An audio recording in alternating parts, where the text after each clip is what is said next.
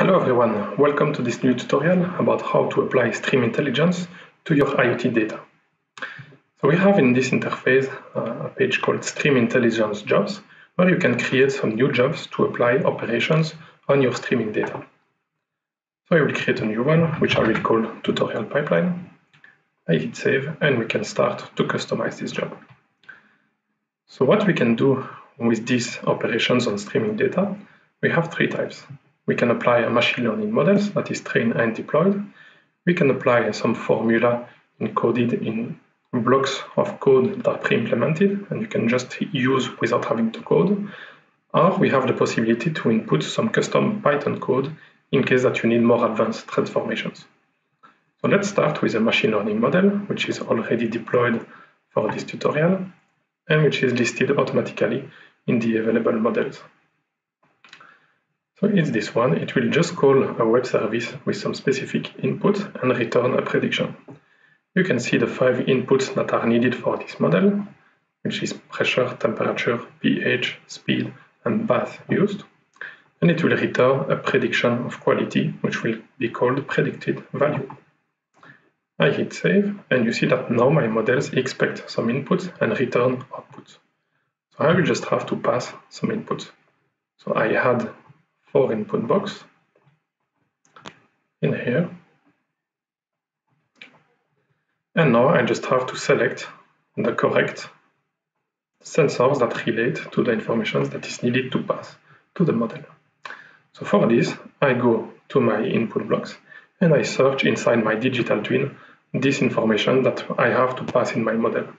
If you don't, don't know what is a digital twin, I invite you to check this uh, next video. So here I need to find the temperature sensor which relates to the problem I want to solve. I just go to my digital twin and look for the sensor called temperature. It's there, I hit save, and my temperature is assigned as input. I do the same for the other sensors, of course, so I will look in my list for pH, hit save. I will look for the speed, which is here, and finally, I will pass the path.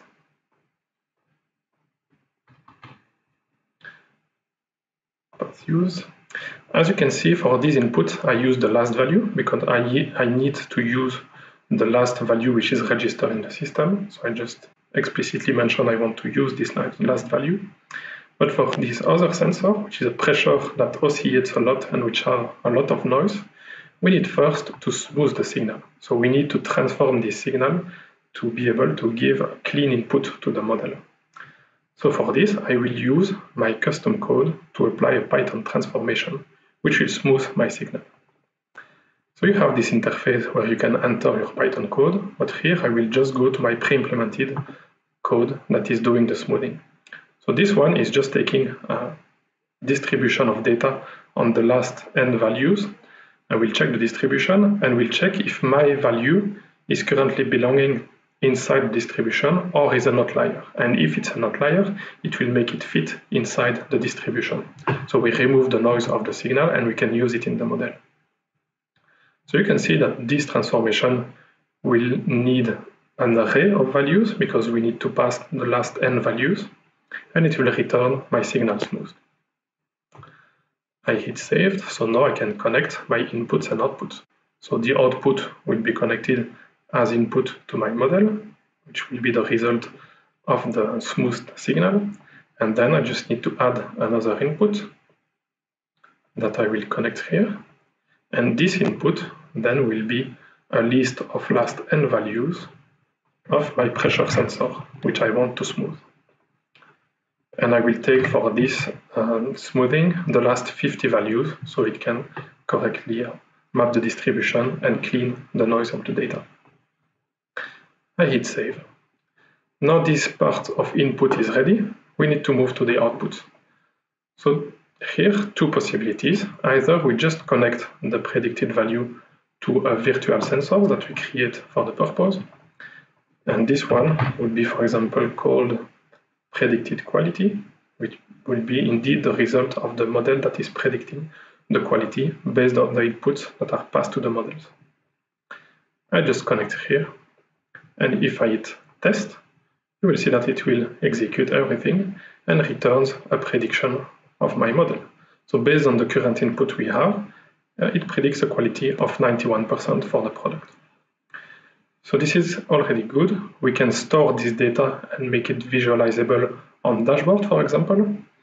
But what we can do is also want to be notified to trigger some reactions or some actions in the operation side to react to this prediction. So if you detect, for example, a quality will be too low compared to what's expected, then you can send some notification to people so they can go and fix the process to be sure that the quality goes back to normal behavior. So for this, I will remove this output and I will pass instead an alert block.